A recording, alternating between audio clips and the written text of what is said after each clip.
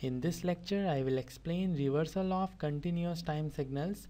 There are two types of reversals. There are two types of reversals and the first type is time reversal.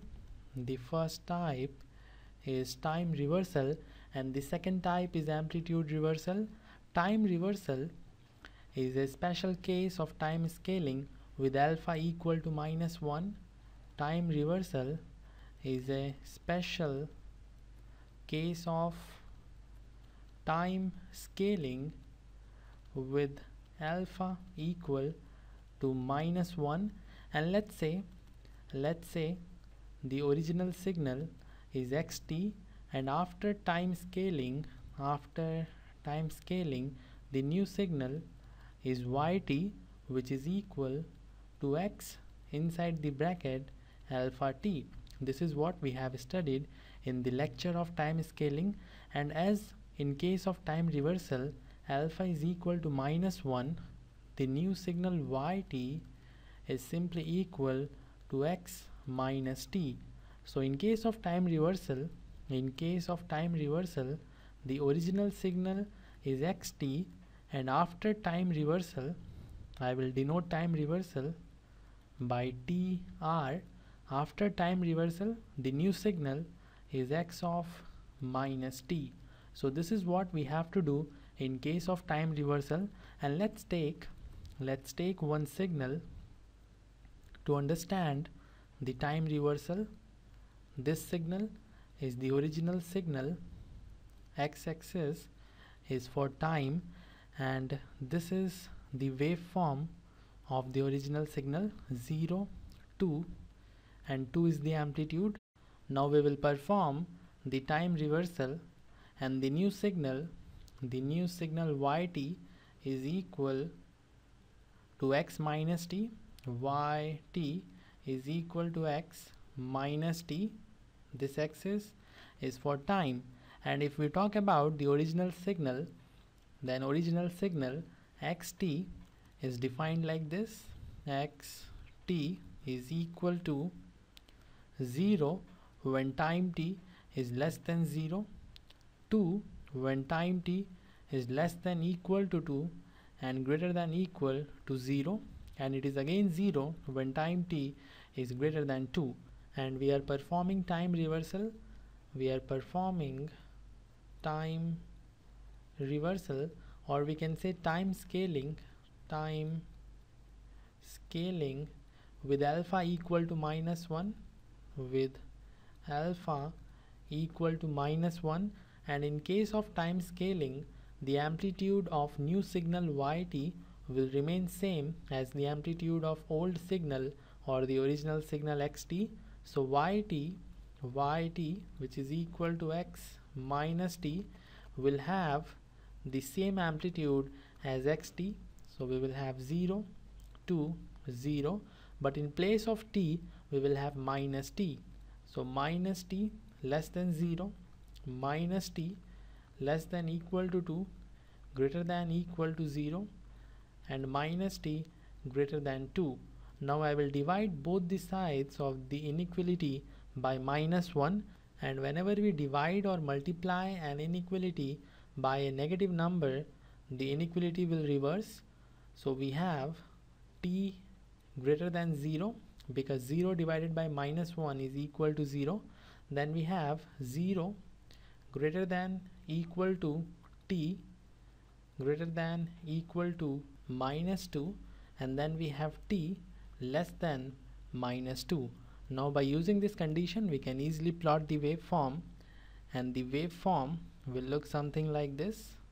This is minus 2 this is 0 and the amplitude is equal to 2 and when you compare the original signal with the new signal you will see the new signal is simply the reflection of the original signal about the y-axis. Or we can say we will get the new signal by folding the original signal by folding the original signal about the y-axis.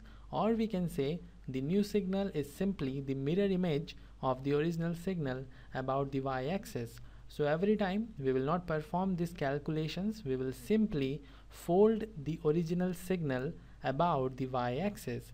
And because of this reason time reversal is also called as folding or reflection.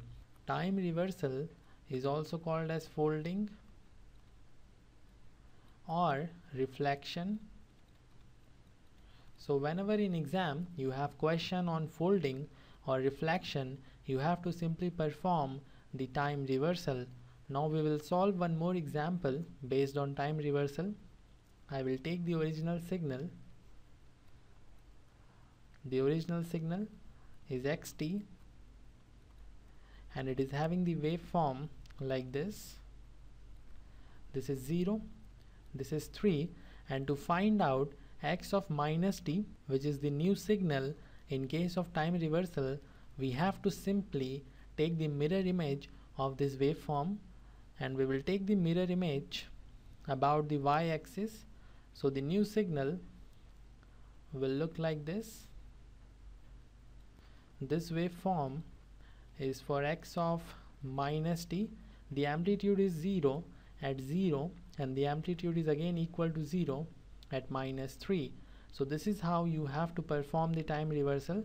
Now we will move to the next type of reversal which is the amplitude reversal. In case of amplitude reversal in case of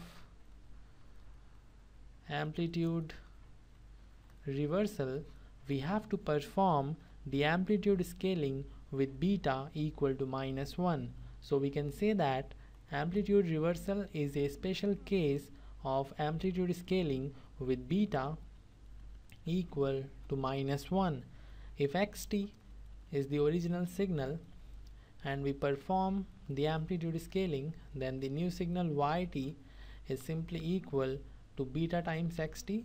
But in case of amplitude reversal beta is equal to minus 1 so the new signal yt is equal to minus xt or we can say after performing the amplitude reversal the original signal is now changed to minus of xt.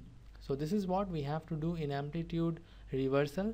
And if we take the same signal same original signal which is defined like this then we can easily find out minus of xt. We can easily find out minus of xt. In case of amplitude scaling the time remains the same but the amplitude changes.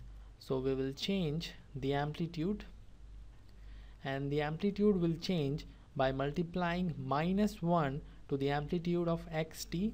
So we have 0 minus 1 multiplied by 0 is equal to 0 when time t is less than 0 then we have minus 2 when t is less than or equal to 2 greater than or equal to 0 again we have 0 when t is greater than 2 so this is what we have in case of amplitude reversal and we can easily plot this signal the waveform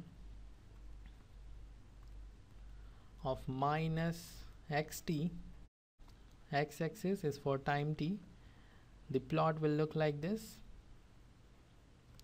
0 2 minus 2 so you can see in case of amplitude reversal the waveform of the new signal is simply the waveform of the original signal folded about the x-axis.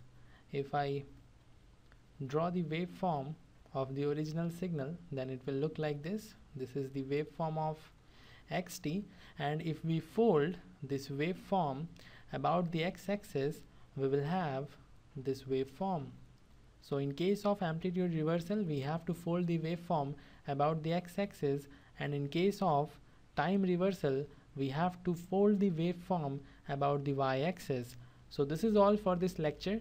These basic things are very important. You should know how we are getting the mirror image of the waveform and after this we can directly use the property of folding or reflection in the problem but we must know why we are folding the waveform or getting the reflection about the y-axis in case of time reversal and we are folding the waveform or getting the reflection about the x-axis in case of amplitude reversal. So this is all. If you have any doubt, you may ask in the comment section.